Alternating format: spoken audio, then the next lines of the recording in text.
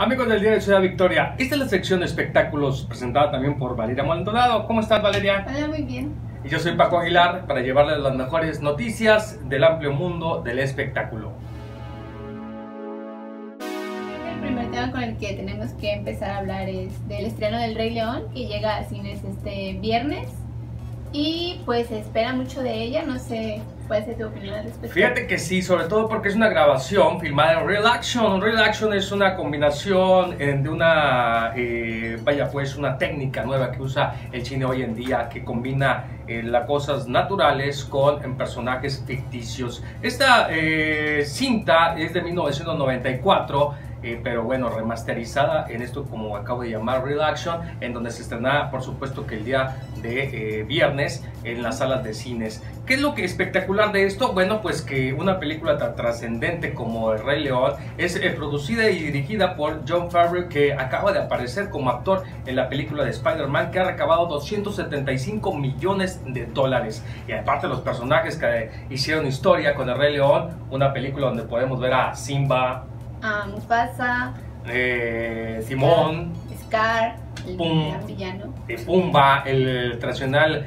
gordito jabalí Pumba, entre, y el rey Rafiki, como no, quien lo orienta y es el maestro de Simba para llevarlo, por supuesto, por el buen camino a retomar lo que, como dice la película, hacer todo un verdadero rey y que, por supuesto, llegará a las salas de cine y será un estreno, la verdad, yo creo que va a arrasar las taquillas.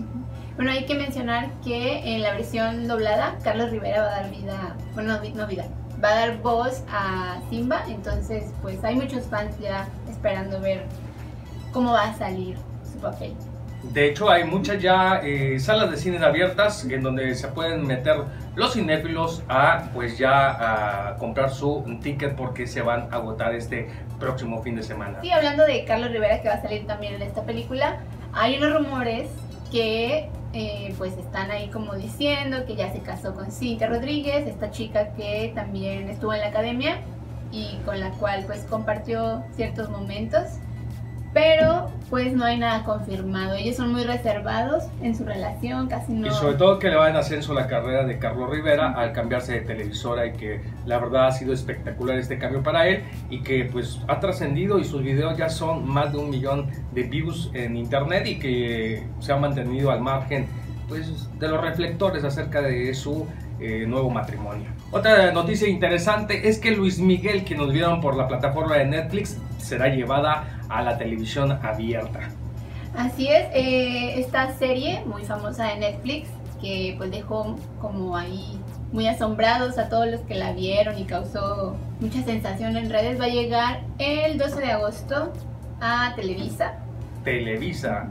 Que yo creo que es con motivo de que ya va a llegar la segunda temporada también en Netflix, entonces yo creo que es como una estrategia de vamos a hacer una estrategia mercadotecnia donde bueno puedan ver la historia gráfica de eh, Luis Miguel, donde los, lo que sufrió desde un principio, desde niño, hasta llegar a la cumbre del éxito y que seguirá en esta segunda temporada en la plataforma Netflix, pero que será liberada la primera parte para que todo el público mexicano la pueda ver en sus eh, televisores en casa.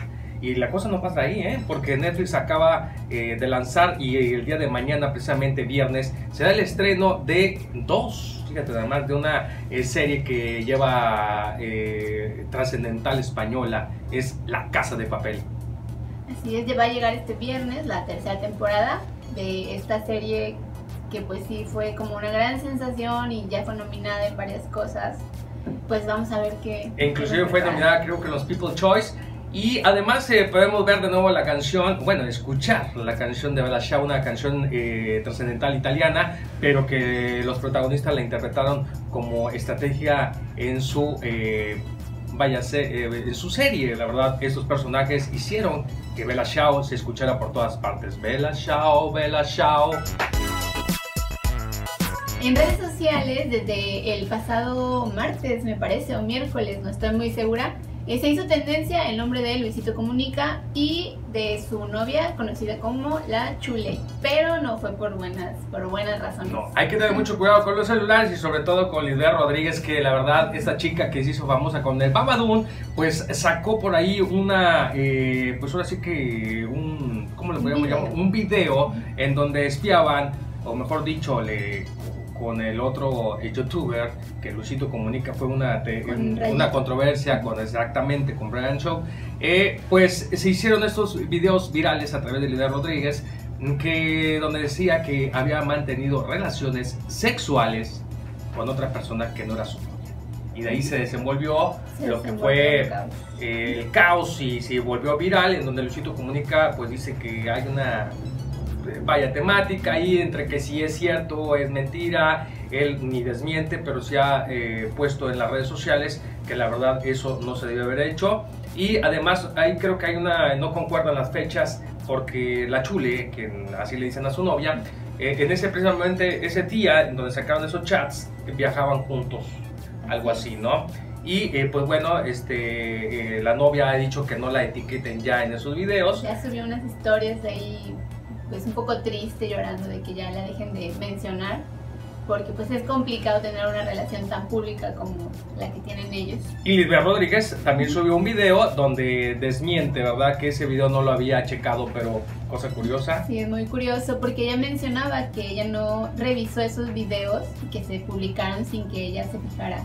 Pero también hay música ahí como de tensión cuando empieza a leer los mensajes, entonces como que no Pues cuadran. no, no concuerdan lo que dice uno del otro. Veremos en qué acaba esta historia viral.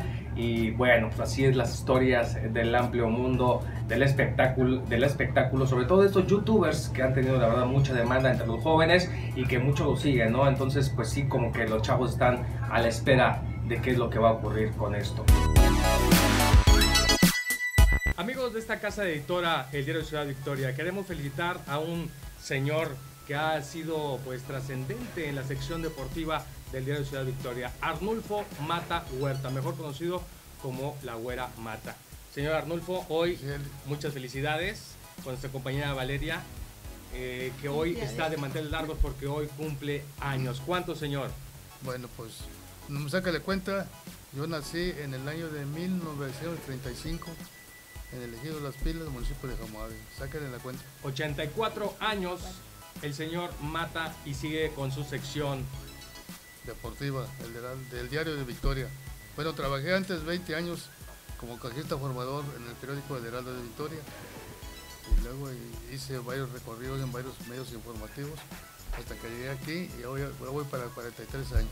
43 años y su eh, sección, ¿cómo se llama? Que todo mundo ya lo sabe en el, en el amplio mundo del béisbol.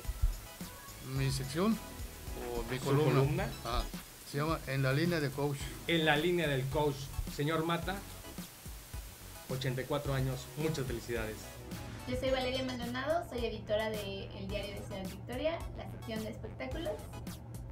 Y yo soy Paco Aguilar acompañando a Valeria Maldonado en la sección de espectáculos. Tendremos muchas cosas interesantes a través de las redes sociales del Diario Ciudad Victoria. Por supuesto, lo invitamos a que nos siga, que nos dé like y que nos comparta. Gracias. Hasta luego.